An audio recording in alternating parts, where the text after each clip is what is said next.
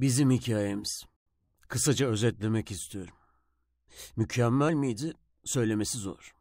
Merkezinde benim olduğum herhangi bir hikaye büyük bir karmaşadan başka bir şey olamaz.